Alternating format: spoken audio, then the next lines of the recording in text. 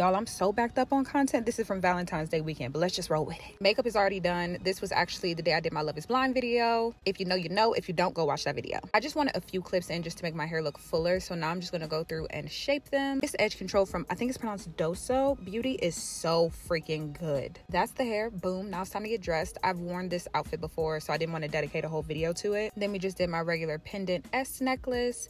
And then I just double stacked a little bracelet and my JBW watch. These first two fragrances, Miss Girl and Pink Sugar, don't last as long. That's why I put them on first. Then I'm going to top it with Prada because that's going to last the longest. Green shoes, little pink bag, lip gloss only because I don't need nothing else in there. And that's the outfit for the night.